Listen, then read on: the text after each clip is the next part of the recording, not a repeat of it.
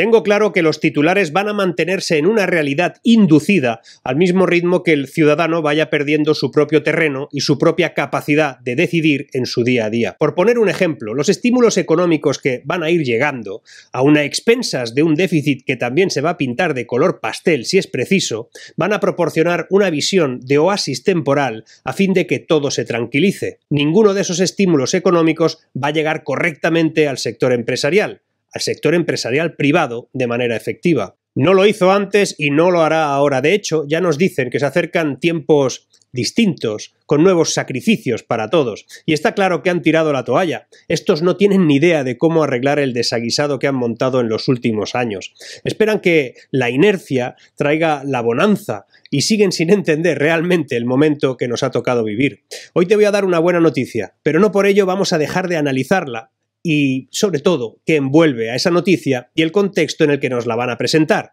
Dale like a este vídeo, suscríbete y aprovecha la publicidad para comentar, porque como decía Quevedo, quédate, que lo que hoy te voy a contar también te interesa.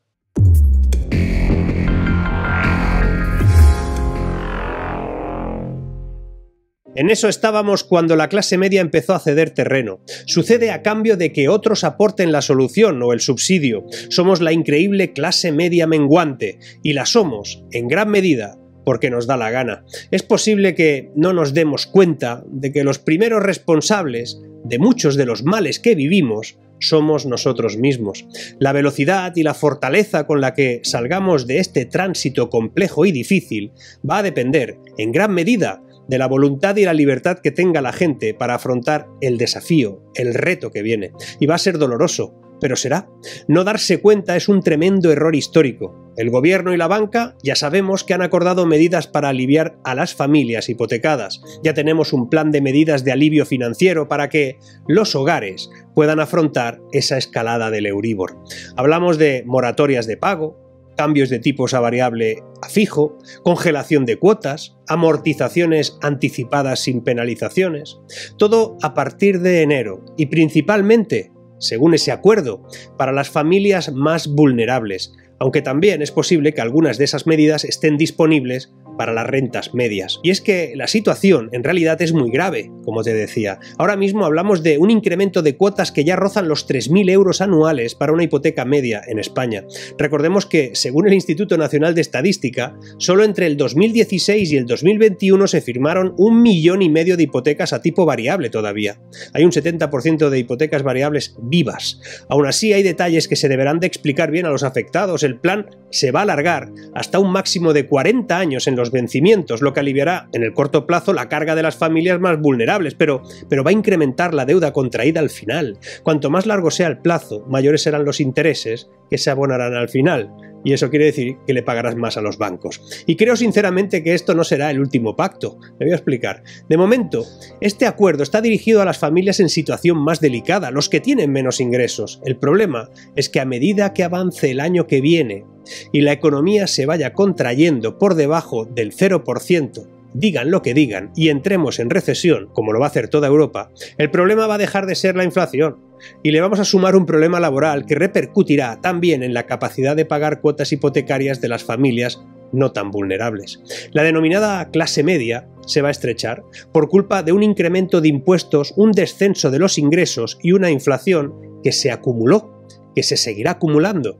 Tomen posiciones. No se crean ningún discurso fácil de que todo está arreglado, porque no lo está. Y cuando escuchemos que nos vendan un acuerdo histórico entre bancos y el gobierno para aliviar las cuotas hipotecarias de las personas con alguna dificultad y nos la comparen con lo que sucedió en el año 2008 al 2013 cuando los bancos empezaron a embargar pisos y propiedades a la gente porque no pagaban sus cuotas, recordemos que la situación es algo distinta.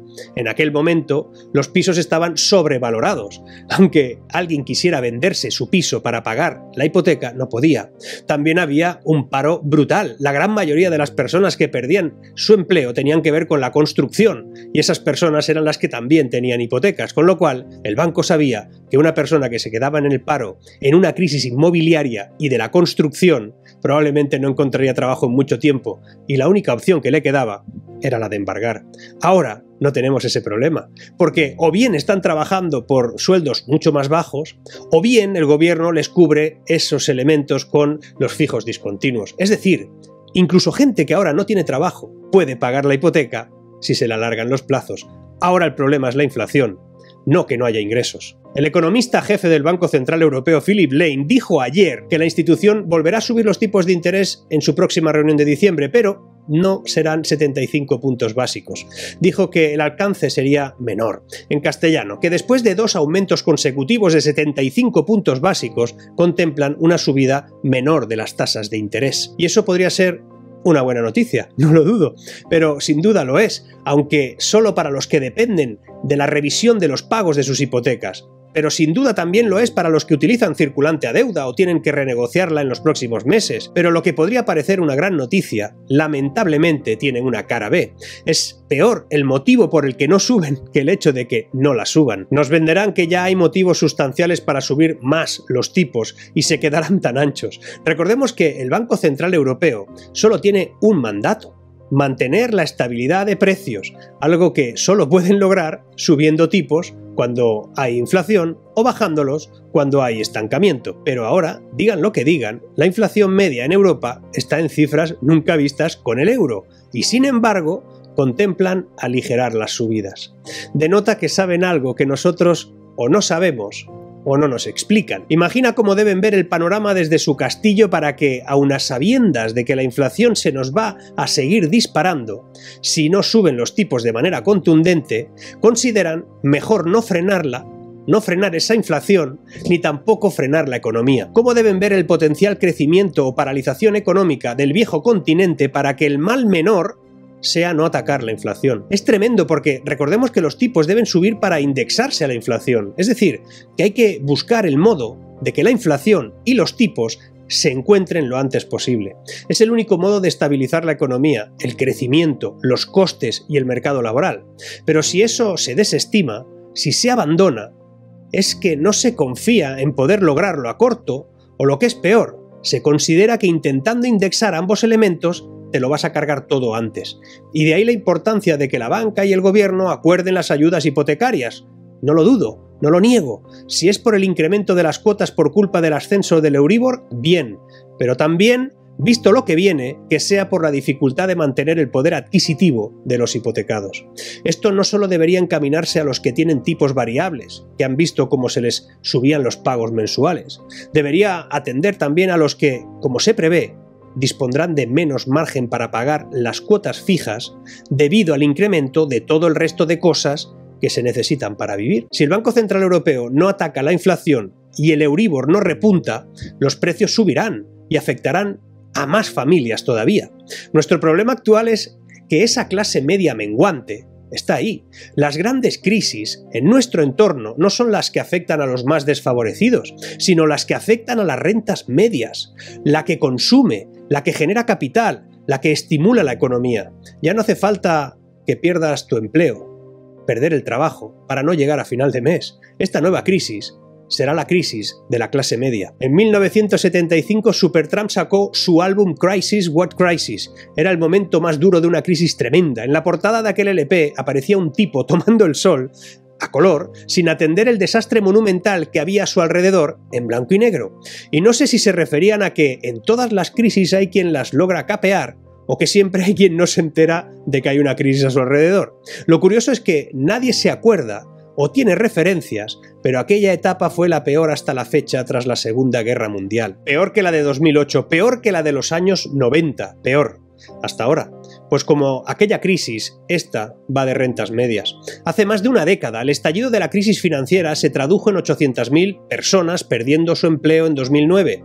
En 2022 no hace falta que te despidan para no llegar a final de mes. Según datos del Banco de España, el número de familias en situación financiera crítica se ha multiplicado y ya asciende a 350.000 hogares, cuatro puntos porcentuales más que simplemente hace un año. Estas personas, estas familias sufren una carga financiera neta elevada cuando destinan más del 40% de sus ingresos a la devolución de préstamos. Todo sigue su curso hacia la conformación de una sociedad dividida entre ricos, pobres y miserables.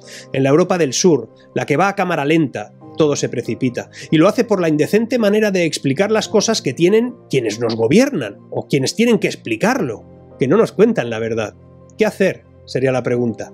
Pues desestima en la vida lo que no importa y dedica toda tu energía en focalizar en lo relevante. Diferencia entre lo urgente y lo importante. Es posible que si solo te dedicas a lo urgente, nunca puedas tratar lo importante. Aprende a sacrificar algo y hacer aquello en lo que no hubieras dedicado ni un minuto a menos de entrar en una etapa económica compleja. No desistas. No nos entrenan para que nos rindamos, para que aceptemos un destino que se estrecha, pero estoy convencido de que eso no debería de ser así. Que la banca pacta porque le interesa es cierto. Que el Banco Central no subirá tipos de manera contundente porque temen por su propia estabilidad es cierto.